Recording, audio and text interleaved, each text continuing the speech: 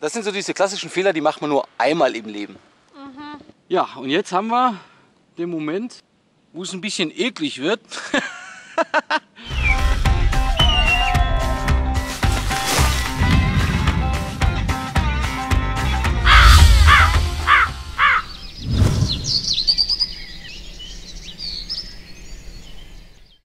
So, heute also unsere erste Wanderung. Das Wetter ist heute richtig schön geworden. Wir sind im schönen Frankenland unterwegs, in den Weinbergen und werden heute so ein bisschen die ja, Beine wieder ans Marschieren gewöhnen. Haben leichtes Gepäck dabei und haben uns eine Strecke ausgesucht, die circa 10 Kilometer weit ist. Und ja, mal schauen, wie gut wir damit durchkommen und was uns so alles erwarten wird. Das sind so diese Momente, wo man sich wirklich fragt, was hat sich hier der Straßenarchitekt gedacht? Wir sind ja auf einem Wanderweg und jetzt schaut euch das mal an. Es gibt hier tatsächlich eins, zwei, drei, vier, fünf, da hinten ist einer, sechs Wege auf ungefähr 10 Meter. Da kannst du auch eine Münze werfen, oder?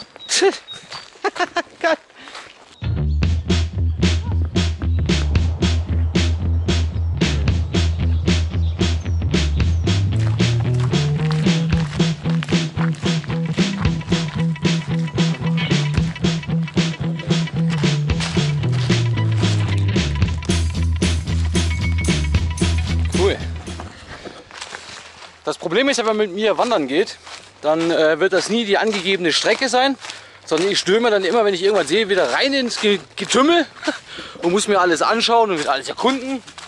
Und ja, also weder die Entfernung noch die Zeit werden mit mir je erreicht werden.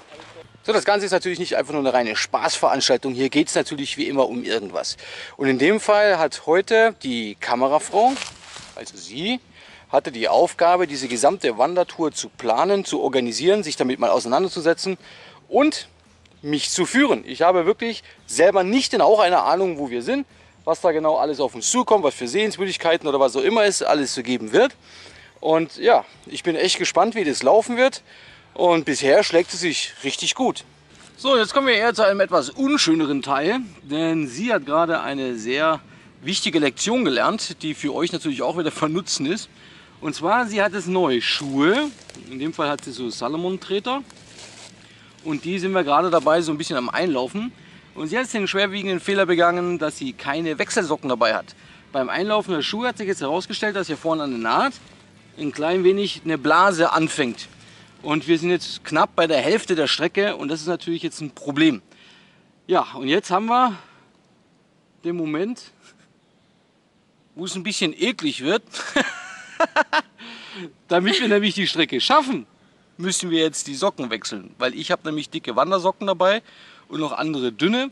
Und sie muss jetzt im Grunde meine dickeren Wandersocken tragen, damit sie mit der Strecke durchkommt. ja. Oh nee. Ja, ja. ja, schade. Das sind so diese klassischen Fehler, die macht man nur einmal im Leben. Mhm. Auf jeden Fall.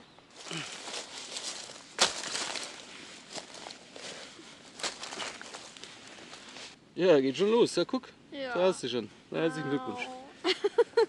So, das hier, Mir langt nur für einen Fuß. da läuft etwas unrund, würde ich meinen. Mm. Lecker, lecker, lecker, lecker. Was man nicht alles fürs Team macht.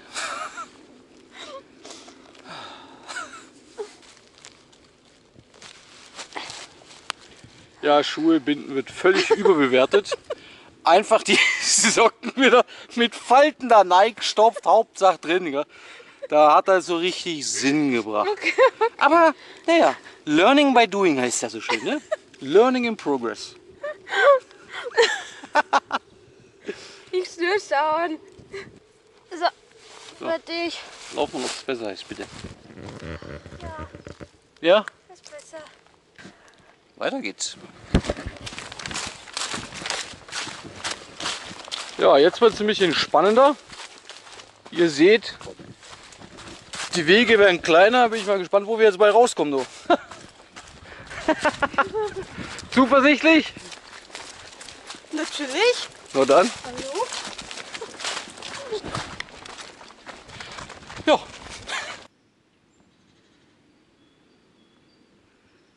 Mega Fund. Eine tote Buche und alles voll Zunderpilze. Denkt immer dran, wenn ihr draußen seid und ihr findet sowas, erntet niemals von einem lebenden Baum. Das ist äh, strikt verboten. Die Dinger stehen nämlich unter Naturschutz. Bei einem toten Baum ist ja gewährleistet, dass das Ding sowieso sterben wird und da dürft ihr die Dinger dann auch mitnehmen.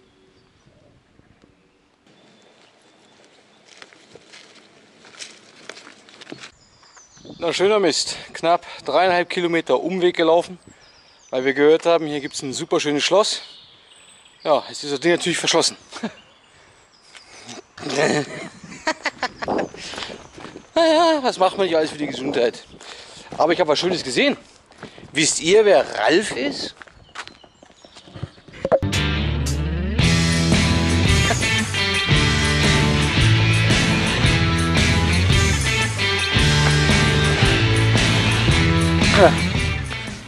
Wie, wie heißt die Straße? Zur Steige oder so? Steige ja. Boah, ja, das brennt in den Wagen. Leck bin ich. Wir haben jetzt gerade nachgeschaut. Der Ursprungsplan war ja, dass wir 10 Kilometer Testmarsch machen. Ja, mit leichtem Gepäck und so. Zur Eingewöhnung.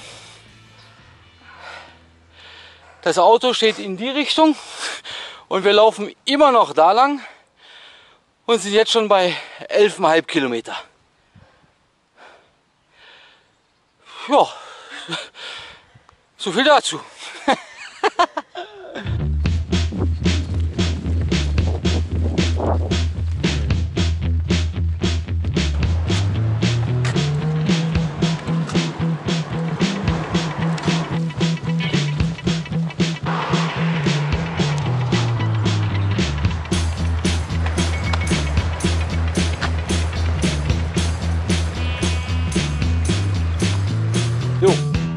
Pause. Wie geht's?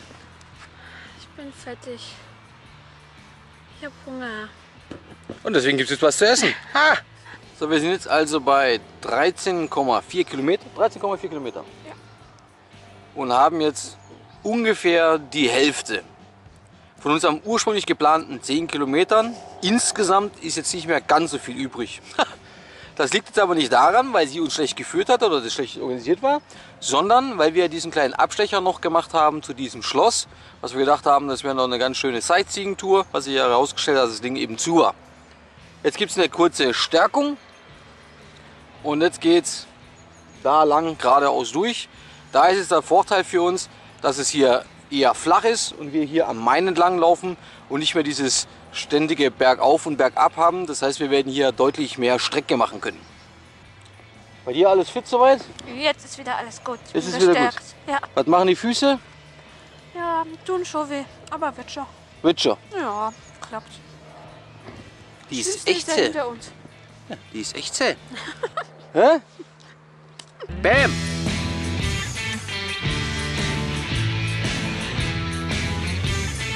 So, jetzt haben wir den Moment erreicht, wo es noch knapp ein Kilometer zurück zum Auto ist. Und alles, was uns da noch im Weg steht, ist diese Treppe. Die sieht jetzt erstmal nach nichts aus, aber nach so einem Marsch, den wir heute gehabt haben, ist das noch eine kleine Schlu- Abschlussherausforderung. Oh ja. Aus unseren geplanten reinen 10 Kilometer, die schöne Tour, die sie vorgegeben hat oder wo sie rausgesucht hat, hat sich herauskristallisiert, dass wir jetzt halt hier mal ganz stumpf bei 19 Kilometern sind. Ja. Unten am Wasser war es ein bisschen schneller und kürzer als den Weg, den wir vorgegangen sind. Deswegen sind es jetzt nur 19 geworden. Bis wir dann noch oben beim Auto angekommen sind, dann jeder zu Hause, haben wir wahrscheinlich jetzt auch noch mal einen Kilometer drauf. Also Ja. haben wir eine gute 20 Kilometer Tour gemacht anstatt 10 und haben jetzt 5 Stunden 44, 5 Stunden 45 Minuten gebraucht. Also ich für meinen Teil bin mega stolz auf das, was sie heute geleistet hat, weil das war schon jetzt nicht ganz so ohne, auch noch äh, in Anbetracht der neuen Schuhe und unseres Sockentausches oder beziehungsweise den neuen Socken, die sie dann bekommen hat, hat sie sich wirklich super tapfer gehalten und hat es wirklich ganz prima gemacht. Das Fazit ist, wir müssen mal wieder ein bisschen öfter rausgehen, ein bisschen mehr wieder trainieren, als auch mal auf äh, längere Strecke mal laufen zu gehen, sich an das Gewicht vom Rucksack zu gewöhnen. Ja, auf jeden Fall. Und ja, das ist auf jeden Fall eins der nächsten Ziele, die wir machen müssen. Zusätzlich zu den ganzen anderen Vorbereitungen, die sie ja nebenher noch macht. Wie hat es dir gefallen? War super. Anstrengend, aber super. Ja? Wieder was erreicht. Bam! Ich hoffe, wir sehen uns beim nächsten Projekt. Bis dann, ciao, tschüss. Stefan.